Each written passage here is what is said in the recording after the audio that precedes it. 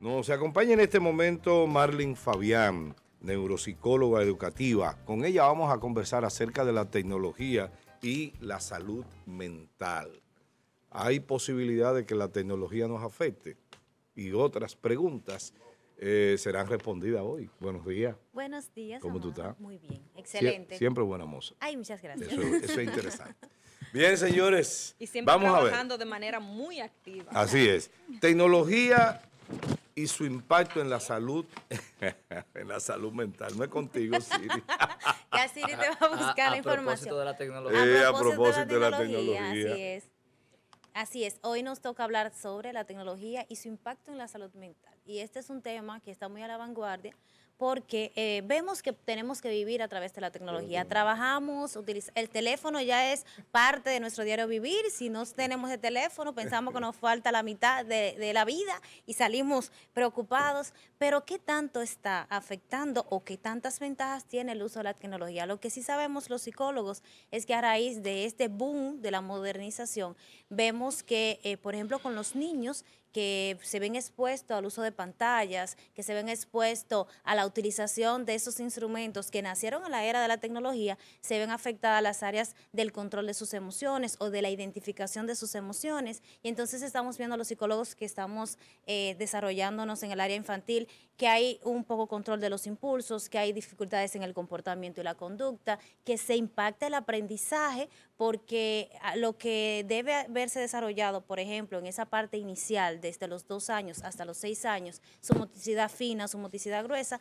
se ve impactada por una pantalla porque el niño ahora, desde que tiene dos o tres meses, le dan una tablet, lo ponen en la televisión eh, a que se distraiga porque el niño no se puede aburrir.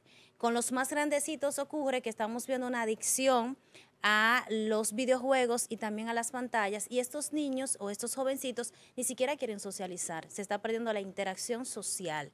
Esto afecta significativamente porque los seres humanos somos eh, sociales y entonces vemos que eh, se afecta en el sueño, también hay mucho desarrollo de hiperactividad, trastorno de déficit de atención con hiperactividad, que lo vemos más de lo que se veía antes, y afectaciones entonces con los adultos, porque entonces el adulto también está adicto a la tecnología. Lo podemos observar ahora. Exacto, lo podemos observar ahora que tengo a Yerjan y tengo a Amado al lado mío y los dos están con un teléfono.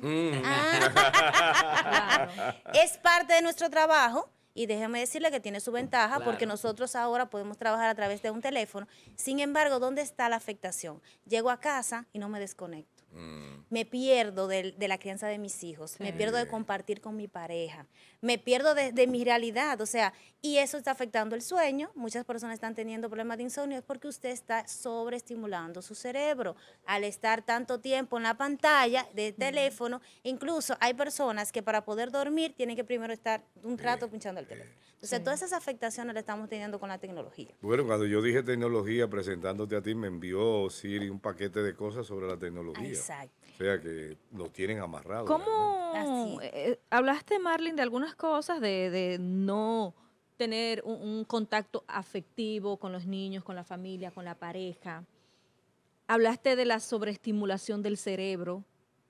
¿Qué más o de qué maneras más podemos destacar para la gente que nos está viendo de cómo afectan los aparatos electrónicos? Mira, una de las partes más significativas es la parte funcional.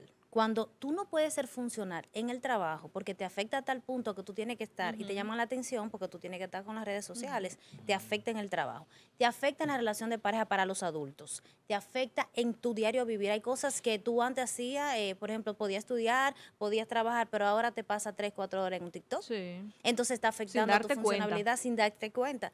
Te afecta en el sueño, te afecta incluso en la imagen, porque fíjate, estamos viendo unos estereotipos sociales que creemos que eso es realidad porque están en las redes sociales. Y yo quiero eso que tiene el otro, que está vendiendo, que normalmente no es la realidad, porque en las redes tú vas a poner lo que tú quieras, no lo que es la realidad que tú vives.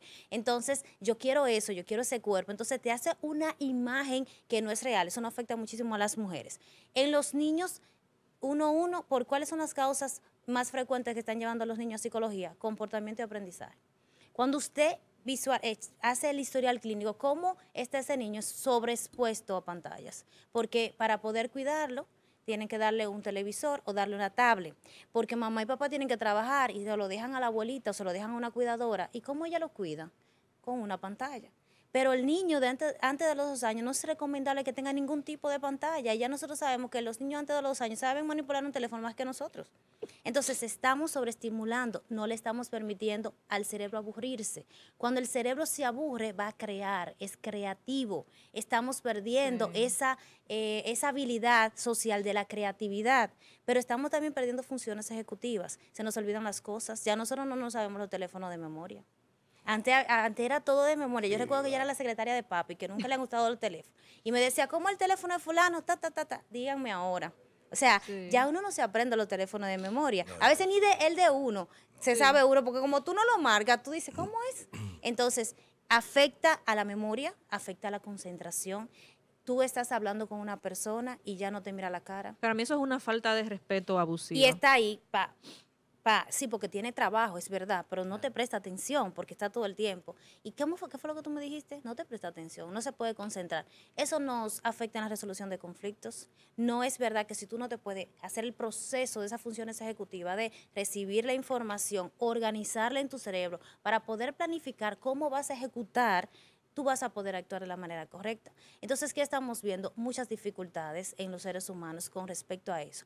¿Hay ventajas? Sí hay ventajas, porque yo como neuropsicóloga educativa trabajo con estimulación cognitiva a través de la tecnología, pero sé qué juegos, porque los niños creen que esos juegos, nosotros sabemos que son recursos, son adecuados para una edad y qué quiero lograr con eso. Si voy a trabajar memoria, si voy a trabajar concentración, si voy a trabajar pensamiento lógico, yo, que, yo sé que voy a trabajar. Sin embargo, cuando tú expones a una persona, sea niño, joven o adulto, horas en el uso de la tecnología, se perdió de la realidad tú te vas tan lejos que tú no sabes lo que está pasando a tu alrededor. ¿Qué hacer, Marlene? Tenemos que, primero, por los niños. Primero tenemos que educarnos, buscar información. Y esa es la preocupación que tiene RECIL. Por eso nos unimos a la Universidad Católica Nordestana con esta segunda jornada neuropsicológica, tecnología e impacto Eso es lo que tienes en el t-shirt. Exacto. Estamos en, en, esta jornada, ¿por qué? Porque tenemos la preocupación y tenemos que educarnos para los niños, para los adolescentes, para los adultos, para las parejas. Hemos reunido 12 conferencistas de diferentes áreas, incluso del área legal, porque esto tiene un tema legal también. Aquí estamos viendo en pantalla. Estas, esta, esto será el día 12 de octubre a partir de las 8 de la mañana en el anfiteatro de la Universidad Católica donde están, donde se le van a dar herramientas para que usted pueda saber qué hago con estos casos, cómo manejo, porque ya tenemos la tecnología y la necesitamos, es muy necesaria, no estamos en contra de la tecnología, es para poder darle el uso adecuado. Y aquí vamos a ver conferencistas como por ejemplo eh, Jairo Núñez que nos va a hablar del TDAH tan conocido y que a veces tan mal diagnosticado, que es el déficit de atención con hiperactividad, cuándo hay y cuándo no hay. ¿Qué día será eso? Eso será el 12 de octubre. Eh, a partir de las 8 de la mañana. También tenemos eh, el psiquiatra Sergio Grullón, nos habla de adicciones, Está Aide Domínguez, especialista en pareja, que nos va a hablar cómo afecta en el área de pareja. Una servidora estará hablando de la parte cognitiva, cómo es el desarrollo del cerebro del niño, cómo puede afectar y cuál es herramienta utilizar, en qué, a qué edad podemos utilizar tal o cual herramienta. Pero eso lo vamos a ver en esta jornada que tendremos este 12 de octubre a partir de las 8 de la mañana. Si necesitan cualquier información, ahí está el número en pantalla. Segunda jornada de neuropsicología, tecnología. Y el impacto en la salud mental. Ok. Una preguntita, Marlene. Habrán varios conferencistas. ¿Desde qué hora hasta qué hora será? Está programado de 8 a 8 y media a 2 de la tarde. Se van a hacer una detrás de otra para que nadie se pierda las conferencias. A veces se hacen simultáneamente y yo quería dos, pero entonces tengo que elegir por una. Entonces hemos decidido que se hagan todas una detrás de otra para que usted no pierda la información. Y porque si no soy hija, soy madre, soy esposa, ¿verdad? Si no tengo hijos, pero a mí me puede estar afectando, entonces cada quien tiene que tener las herramientas. Esto será para público general, pero también especialmente psicólogos, psiquiatras, médicos, orientadores, educadores, comunicadores, porque a veces hablamos de esto y no sabemos lo que estamos diciendo. Entonces es importante que usted tenga la herramienta para poder hablar. Antes de que tú hagas la pregunta, ¿qué implica el costo de tu sitio? ¿Tiene esa, era mi pregunta. bueno, el costo general es de 3 mil pesos. Eh, para estudiantes y personas que pertenecen acá al Colegio Dominicano de Psicólogos, ACODOX y 2.500 pesos. Hasta el día de hoy tenemos un 10% de descuento para todas las personas, o sea que si eh, va a pagar el estudiante 2.500 serían 2.250 por hoy y si es eh, el público general 2.700. Así que no se lo pierdan y es importante que ustedes sean parte de esto que es como una campaña, más que una jornada, para que podamos ayudar a la sociedad. Esa era la pregunta. claro, el, el, costo. Ok, ok. Nada, invitarle. Este 12 de octubre tenemos una cita. Cualquier información, 809-244-0123. Excelente. Muy bien, gracias eh, Marlin. Muchas gracias, Marlin Fabián, neuropsicóloga educativa. Y este magnífico, eh, esa magnífica invitación que nos hace a, a este evento. 12 de octubre, recuérdelo el Día de la Raza, ¿verdad? Que ahora se dice encuentro entre culturas. Ah, ok, sí, ahora Todo, lo ha, todo ha cambiado. Sí, para suavizar todo. Bueno, sábado 12, tecnología. Impacto en la salud mental. Impacto y su impacto en la salud mental. Cómo no, gracias, Mar.